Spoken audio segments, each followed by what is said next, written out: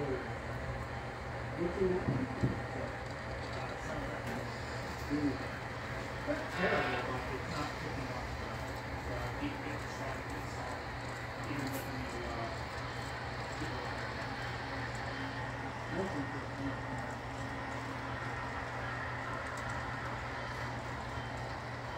have the, you have, you have, you put a Cooper Avenue where the, where the. It's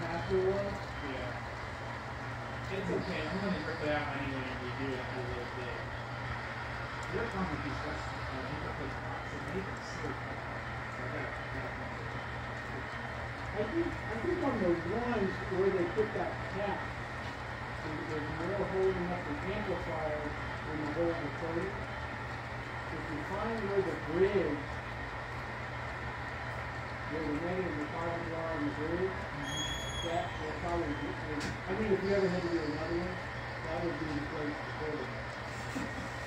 I never really thought I'd be that one, and then the guy bought it from Four Seasons you know, anybody I was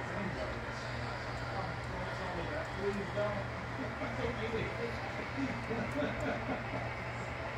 But the truck wasn't open.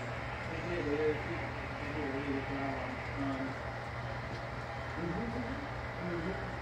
what manufacturer? Look at their cars. Okay. So they're really the only ones I think that actually did any real rock and roll stuff. Because they did the 202, and then they did the, uh, Pacific.